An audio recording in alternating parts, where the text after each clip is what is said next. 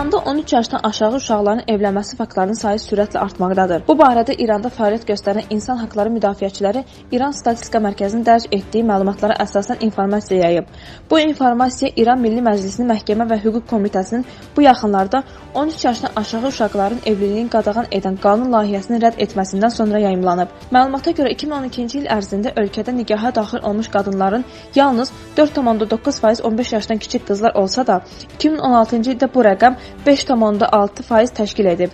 Beləliklə, təkcə 2016-cı ildə 39 mindən çox 15 yaşdan aşağı qız uşağı nikaha daxil olub. Məlumatda qeyd edilən illər arasında 4 il ərzində İranda 200 mindən çox 15 yaşdan aşağı qız və oğlan uşaqları ailə qurub.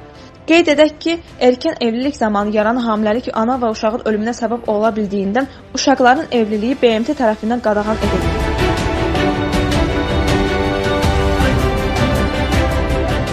Musayeva adlı müğənninin ailəsi ilə bağlı 5-də 5-də dedikləri hər kəsi dəhşətə gətirib. Müğənni qəzada ailəsinin 4 üzvünü itirdiyini bildirib. Müğənninin bu açıqlaması aparıcı başda olmaqla hər kəsi şoka salıb. Anam, bacım, qardaşım qəzada rəhmətə gedib. Atam bu il rəhmətə gedib. 1999-cu ildə ailəliklə toydan qayıdırdıq. Atam, mən və kiçik qardaşım sağ qaldıq.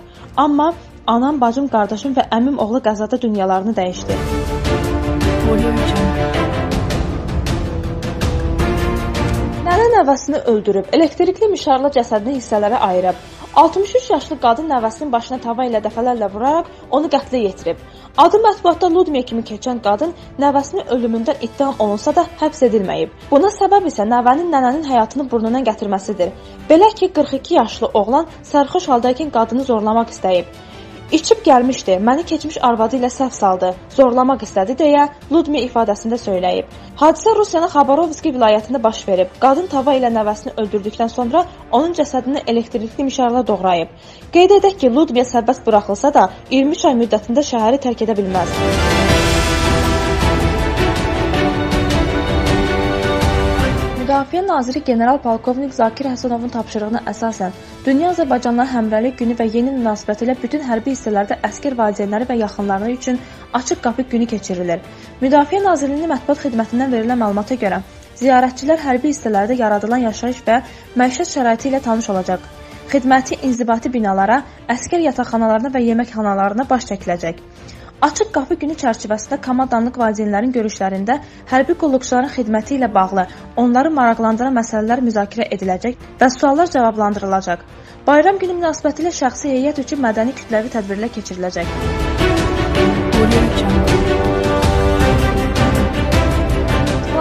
Rusiyanın patriarxı Kril Azərbaycan prezidenti İlham Əliyevə təbrik məktubu göndərib. Məktubda deyilir: "Zati aliləri möhtərəm prezident, doğum gününüz münasibətilə sizi ürəkdən təbrik edirəm. Siz uzun illərdir ki, rəhbərlik etdiyiniz ölkənin firavanlığını və dinamik inkişafının qayğısına qalan müdrik və istedadlı rəhbər kimi Azərbaycan sakinlərinin rifahını naminə çalışırsınız. Bakı Pravoslav kilsəsini və Bakı Azərbaycan yeparxiyasının fəaliyyətini dəstəklədiyinizə və onlara göstərdiyiniz diqqətə görə sizə minnətdarlığımı bildirmək istərdim.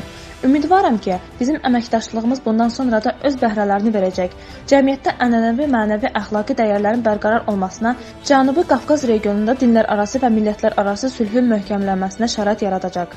Sizə möhkəm can sağlığı, Tanrıdan kömək və Azərbaycan xalqına xidmət kimi məhsul fəaliyyətinizdə uğurlar diləyirəm. Növbəti sürət qatarı Bakıdan Qəbələyə olacaq. Bu barədə Azərbaycan Dəmir Yollarının sədri Cavid Qurbanov jurnalistlərə açıqlamasında deyib. O bildirib ki, növbəti sürət qatarı Qəbələ və Yalamaya olacaq. Artıq Bakı-Yalama dəmir yolunun tikintisi üçün tender elan olunub. Tikinti 2 il müddətində başa çatması nəzərdə tutulub. Bakı-Yalama istiqamətində tikinti digərlərindən daha möhtəşəm olacaq. Bu dəmir yolunun yeraltı və yerüstü keçidləri nəzərdə alınıb. Təhlükəsizlik baxımından tədbirlər görüləcək. İlkin olaraq Bakı-Qəbələ sürət qatarlarının istifadəyə verilməsi nəzərdə tutulub. Çünki Qəbələ stansiyası Bakı-Ləki dəmir yolunun üzərindədir. Ləkidən Qəbələyə hazırda dəmir yolunun tikintisi gedir. 2019-cu ilin axırına qədər Bakı-Qəbələ sürət qatarlarının işə düşməsi planlaşdırılır deyə Cavid Qurbanov vurğulayıb.